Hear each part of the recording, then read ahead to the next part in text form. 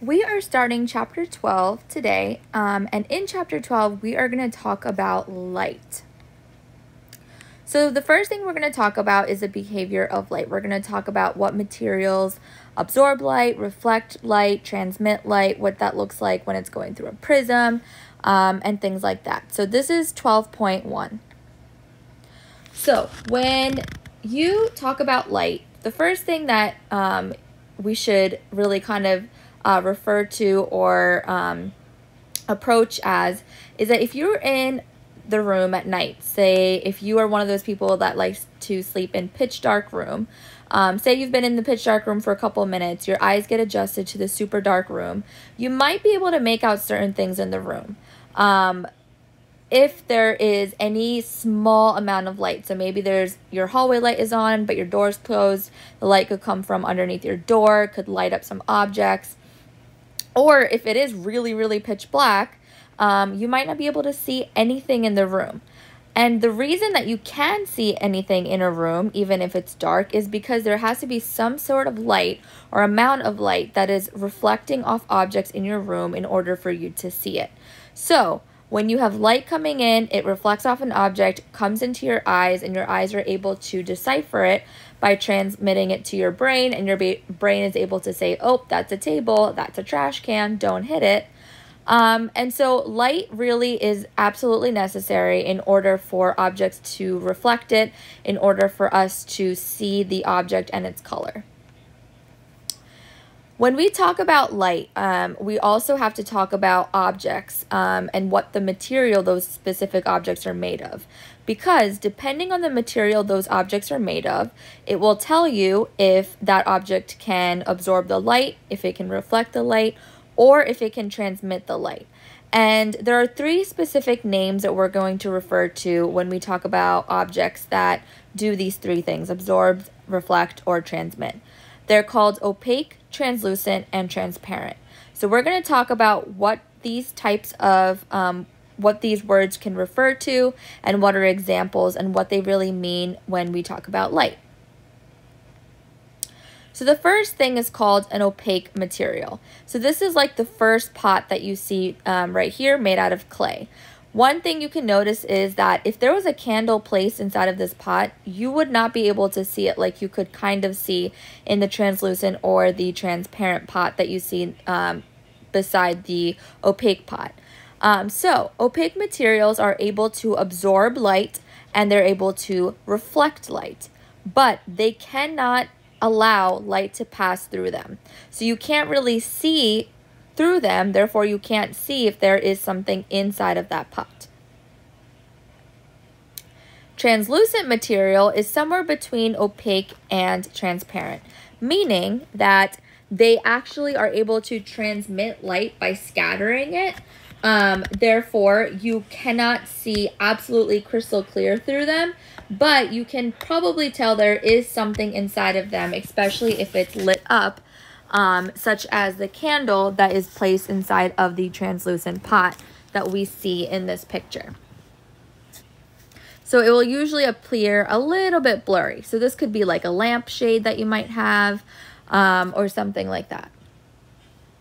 And then lastly, we have something called transparent materials. Like it, see, like it says in the word, it's transparent you can see through it, right? So this material is able to transmit light without any, um, without scattering it, which allows you to see clearly through that material so you can clearly make out there is a candle inside of there or whatever other material you might put inside of that um, object.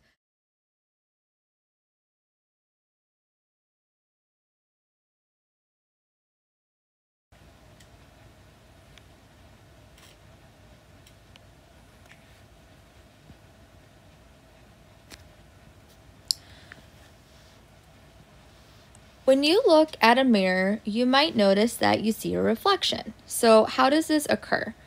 The reason you see a reflection is because there's some sort of light source. That light source releases light waves that reflect um, off of you and then once it reflects off of you, it hits the mirror. The mirror then reflects the light off of the mirror um, into your eye, and therefore you are able to decipher what you are seeing in the mirror. So anytime you have reflection, it's because there is some sort of light source that releases a light wave that hits an object, and that object is then reflecting that light back into your eye. So we're going to talk about a couple definition um, that we need to know in order to um, understand what it really means for a light to be reflected. One of the main definitions is called the law of reflection. There are two um, parts to the law of reflection. One is called the angle of incidence, which is pretty much the angle um, that light strikes um, the mirror surface, and then the angle of reflection, which is the reflected light wave hitting off of the mirror back to either your eye or, or to something else. So when we talk about the law of reflection, we are saying that um, it's the angle at which a light wave is striking a surface. In this case, it could be a mirror. Um, and it's going to equal the same as the angle that is being reflected. So if you look at this image, you can see that the red arrow in um, at the top what that is coming in and hitting the mirror is the angle of incidence. So that is the angle that is being provided from a light source that is casting um, light waves and hitting the mirror. When the mirror reflects the light back into your eye um, that's called the angle of reflection. You can see that the angle of incidence and the angle of reflection are going to be equal um, and that is what the law of reflection is talking about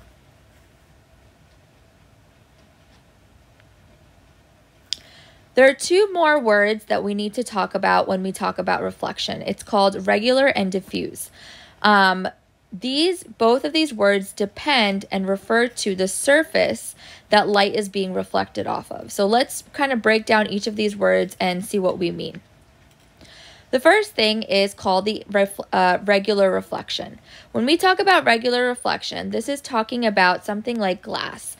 It's, it has a smooth and even surface. Therefore, when you have an image that is being reflected off of it, it produces clear and sharp images because the way that the light is being reflected off of this surface is going to be in a parallel way and it's only going to be reflected in one direction.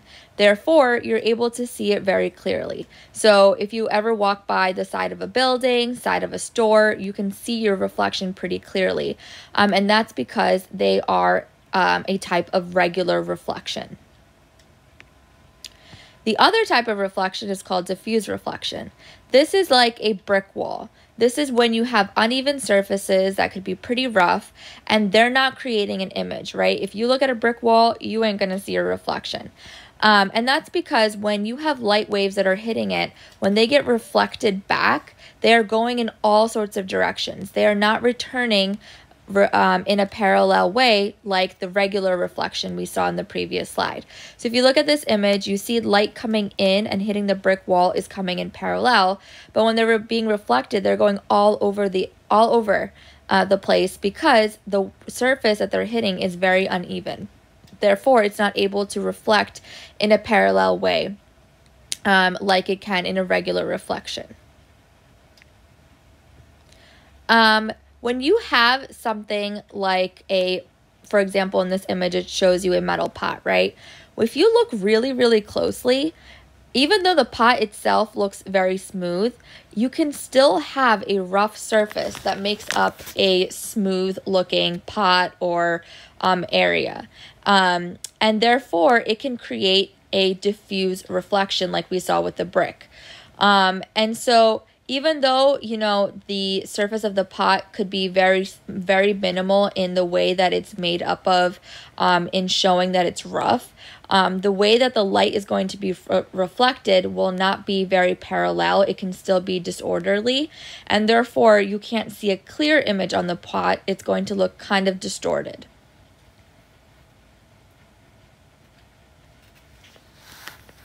Okay so when we talk about refraction of light. We're moving on to another thing that um, when we're we're moving on from reflection to refraction. So when we talk about refraction of light, we're saying that light rays can actually refract, which in other words means that light rays can actually bend. And why does this happen? Refraction is basically when you have a change in the speed of a wave when it goes from one material to another. Um, so we're going to talk about this more specifically. But when we talk about refraction, always think about bending and always think about the change in the speed that is occurring in a light wave when it goes from one material to another. All right, so there's two scenarios we're going to talk about when it comes to refraction of light. The first scenario is say you have two materials and there's a boundary that separates both of those materials. If you have a light wave that is traveling between these two materials to hit the boundary that is not 90 degrees, so some other angle that this light wave is producing to hit the boundary other than 90 degrees, um, you're going to have um, the wave being bent. The wave of the light will be bent. So I'm going to say that again. If you have two materials, you have the boundary between these two materials, say water and air, right? Um, you have air and you have water. You have this boundary right between where they meet. Um, and you have a light wave from the sun that is coming and hitting that boundary between the air and water.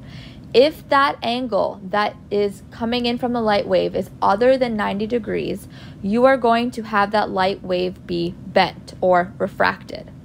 Scenario two says, though, that if you have a light wave that is hitting a boundary between two material at exactly 90 degrees, the light wave will actually change its speed, but it's not going to have the uh, light wave actually be bent. So in the example of water, if we say air and water, you have a light wave coming in at exactly 90 degrees as it hits the boundary between air and water. It is not going to be bent. It's only going to change speed between one material to another. But if you have um, light waves coming in from the sun that is hitting the boundary between the air and water at another angle other than 90 degrees, it will be bent. There's something called index of refraction as well. So index of, refraction will tell you how much uh, or the amount of bending of light is going to depend on the speed of light in each material. So the more difference that you're going to have between the speed of the in, of light in each material, the more light is going to bend as it crosses the boundary between those two material. So, index of refraction definition, as it says in bold, it indicates how much the speed of light in the material is reduced compared to the speed of light in a vacuum.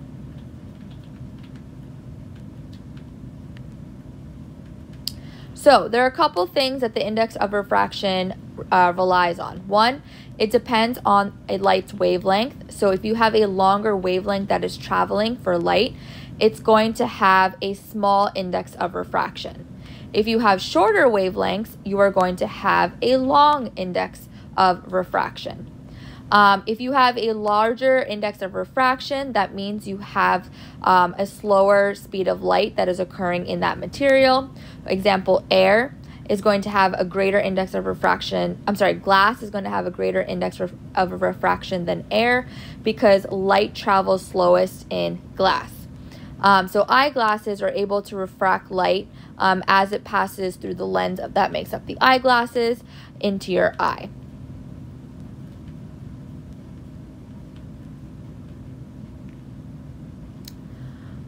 When we talk about light, we have to talk about visible light. Um, so if you remember uh, talking about this in other science classes, we have a, something called an electromagnetic spectrum. So it goes from gamma rays, which are the smallest, to radio waves, which are the largest. And in between there, we have visible light. So visible light goes between 380 nanometers to about 750 nanometers. The purple or violet wavelength is going to be the shortest. Red is going to be the longest. Um, but depending on the light waves that you, uh, or the color of the light waves in visible light, for example, it will tell you the amount of um, bending that is occurring with the light. So remember when we talk about visible light, this is like the rainbow. You have Roy G. Biv, red, orange, yellow, green, blue, indigo, violet. The longer waves, um, like Ira said, are the red um, light waves, and then the shorter waves are the violet um, light waves. Um, now, when you have the sun the sun is actually going to give you the entire electromagnetic spectrum, but because of our atmosphere, it only allows visible light to come in. Um, and so the main uh, light that we get from the sun looks like white light, but it actually consists of the entire spectrum of the visible light that we see.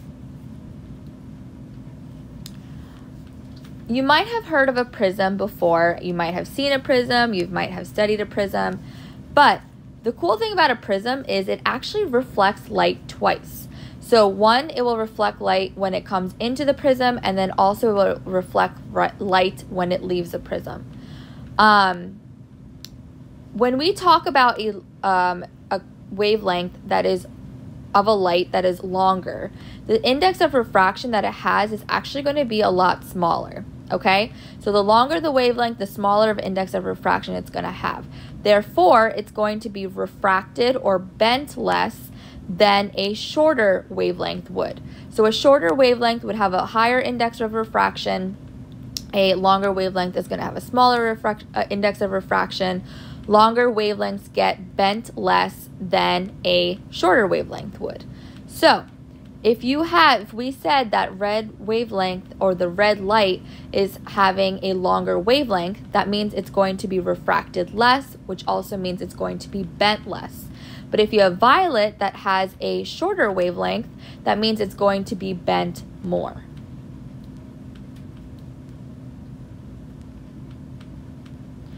Um, one example of a um, prism that we can see every day is actually a raindrop. Um, rain can actually refract light or bend light. Um, it how it happens is when it takes the white light that is cast from the sun. Um, once it goes through the raindrop, it's able to separate it into different colors, which is the visible light that we see. And our eyes can actually distinguish um, each of those visible colors that come from the visible light spectrum, um, which is the red, orange, yellow, green, blue, indigo, violet. I don't know if you guys have ever been driving on a hot summer day and you look in front of you and you think that there's a ginormous puddle of water and you're wondering how it um, could possibly have rained and how you possibly could have missed it. But then as you approach closer, it's completely gone. The road is completely dry. This is called a mirage. So basically, a mirage is um, pretty an image that is um, an image of a distant object that is caused by the refraction or bending of light because of the air layers uh, that are made up in that area, and those air, la- air layers are made up of different densities. This usually happens when you have the um, air towards the ground level be a lot warmer um, than the, than the air above it or it can happen when the air on the ground level can be a lot cooler than the air above it as well. So for example, you might have noticed this like on your way to the beach, you're driving, you see this like mirage happening. Usually on a hot summer day or in the middle of summer, your road is able to retain a lot of the heat and therefore the road is the air on top of the road is going to be a lot hotter than the air above it, therefore creating a mirage. You could even see this on a cold day in February or January or December um, because, again, the road is holding on to that coldness. And so when you're driving in the distance, you the you will notice that because the road is a lot colder than the air above it, once again, you're producing a mirage.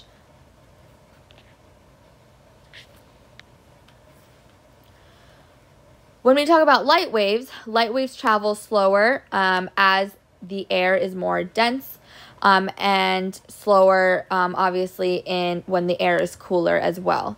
Um, so light waves do refract or bend as they pass through the different air layers um, because they are made up of different temperatures, which is causing these images to form. And that's why sometimes you can even see a reflection of objects off of the mirage, even if there is no actual um, water on the road which is pretty cool. Okay, so a couple questions here.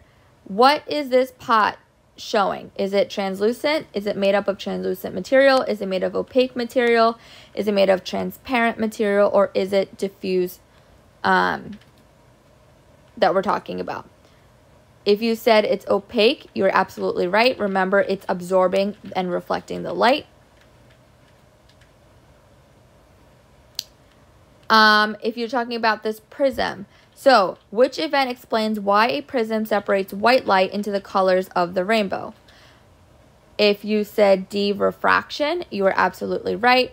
Light is being reflected, refracted here in this image. Remember, red light gets refracted less because of the longer wavelength. Um, and the violet, um, which is towards the bottom of the uh, rainbow, it has a shorter wavelength, therefore it's going to be refracted more.